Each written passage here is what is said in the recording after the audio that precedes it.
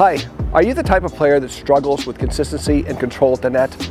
More than likely, you've received tips and ideas that are not helping you play your best volleys. In today's lesson, we're going to cover the five common myths on the volley that are probably holding you back from playing your best tennis at the net.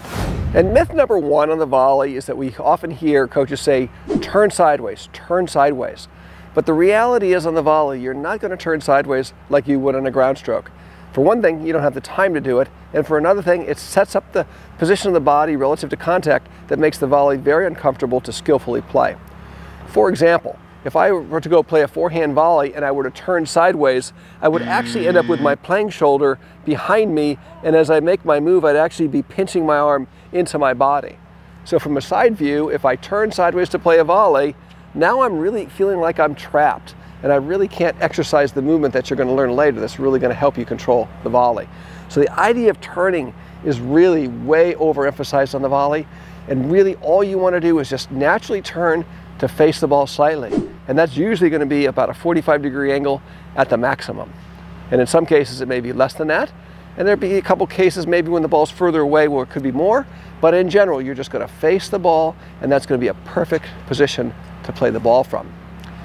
Concept of turning is the same on the backhand.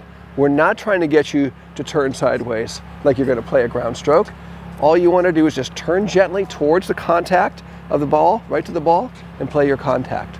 And again, from a side view, if you just watch me, a ball comes, I turn sideways, and now I'm in this very trapped position, and it lacks leverage, it lacks control, lacks timing, lacks everything. So once again, on the backhand volley, same, just turn to face the contact, about a 45 degree angle, and that will set you up perfectly to use the skill that you'll learn later on that makes the volley really have power and control. And myth number two is to keep the racket head up on the volley. So a lot of coaches that are teaching the volley out there are starting with the racket head up and they're advocating keeping the racket head up, keeping the racket head up through the volley. So we're volleying like this. It's kind of a spin-off from what uh, was taught in the 70s by Vic Braden. But in reality, that's not how a volley is played.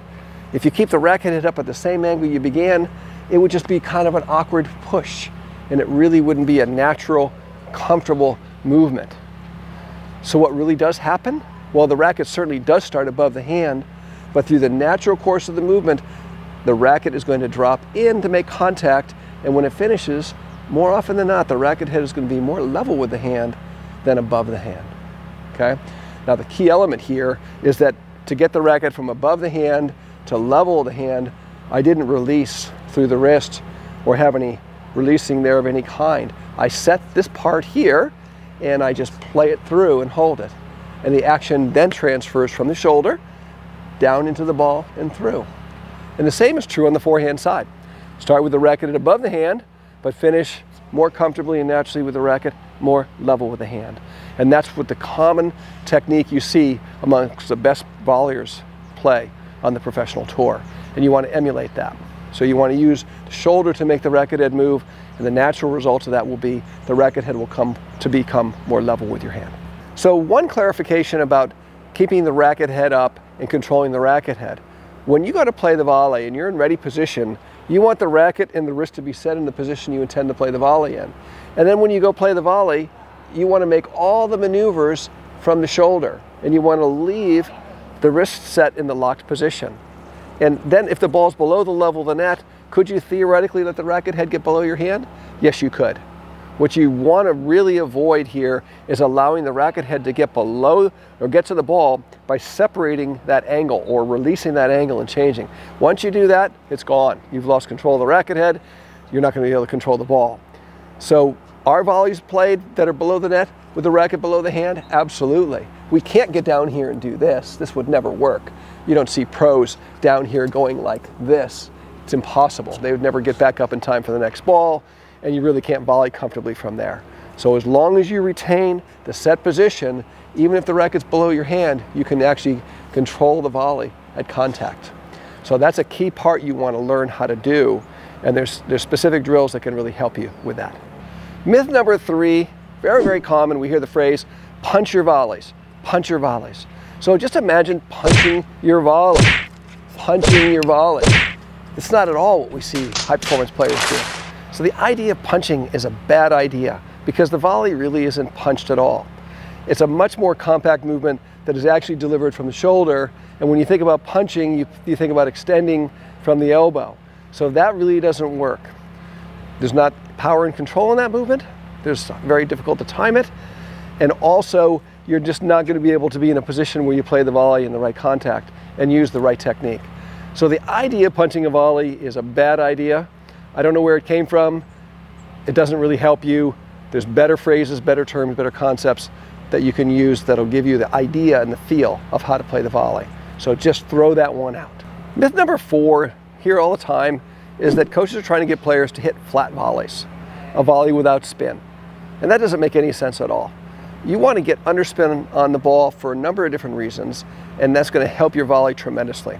First of all, if the ball comes very quickly and you try to hit it bluntly and flat, then you're really not going to be able to control the ball and take spin off the ball or take pace off the ball and control the ball with spin. So you're going to have this very, very hard impact that's going to be very difficult to control. So what we want to do is we want to graze the ball and touch the ball with underspin so that we can control the ball, neutralize the ball, and generally going to take maybe oftentimes take pace off of the ball. But we're definitely not going to be trying to hit it flat, particularly when the ball is below the level of the net. So if the ball is below the level of the net, I'm going to open the face and my strings are going to have the sensation of cutting under the ball to not only lift the ball up and over the net, but also to soften the impact and control the ball in the court so it doesn't just fly off the racket. Even on higher volleys, I'm an advocate of placing underspin on the ball for every, every volley that is below the eye level.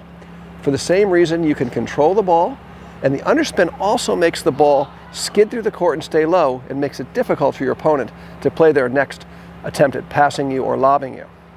So playing underspin volleys is the technique you see amongst the pros for very good reason. It gives you much more control, gives you much more versatility, and it's something you just have to understand you're going to try to do in your volley. And myth number five, here all the time, is to squeeze the handle on the volley. As the ball's coming in, squeeze the handle. Well, that's pretty hard to do, and I think what ends up happening, and most tennis players already have this problem, is they tend to be too tight and too tense to begin with.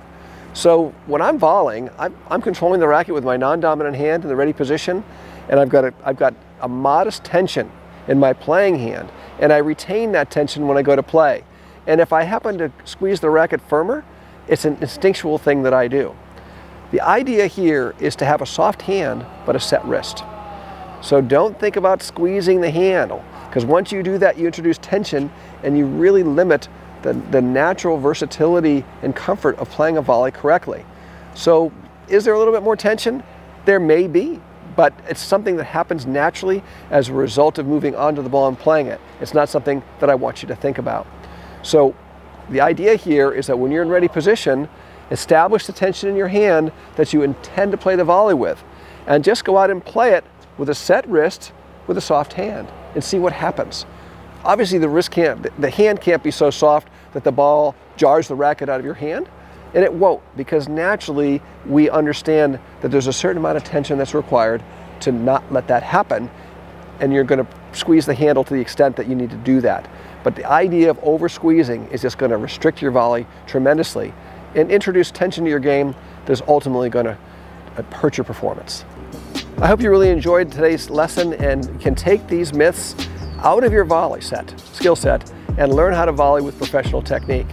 And if you'd like to learn more, you can click on the link down below to gain access to our library lessons, which covers volley techniques and foundational skills that can help you improve your volley, and also every other stroke in the game. While you're here, please like, comment, and subscribe to our channel. Turn in your notifications because we're releasing videos every Tuesday and every Friday. They're going to help you build your tennis game. Thanks again for watching today's video, and we'll see you in the next lesson.